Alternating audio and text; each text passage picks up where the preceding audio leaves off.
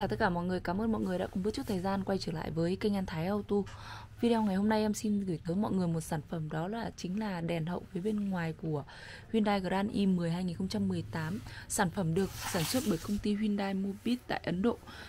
Đấy, à, và cái mã sản phẩm của nó là 92401B4700 à, Sản xuất tại Ấn Độ, đây chính là cái mã vạch của sản phẩm.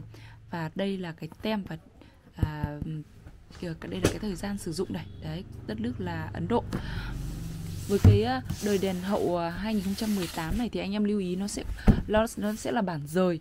Ờ, vì sao em lại nói thế? Tức là cái đèn hậu của nó sẽ bao gồm hai miếng nha anh em nhé đây đây chính là cái đèn hậu của uh, nó này. Với cái đèn hậu này thì nó đã bao gồm là à, bóng đèn luôn rồi.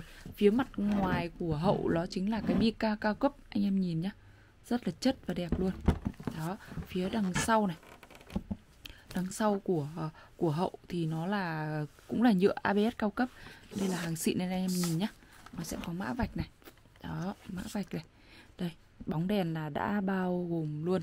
Đây là cái ờ, cái này thì anh em cũng không cần quan tâm lắm. Nó chính chỉ là cái hướng dẫn để xoáy để mở để kiểm tra bóng thôi ạ. Đây à, đây Hyundai này. Dập luôn mã ở đây 92401B 4700 này.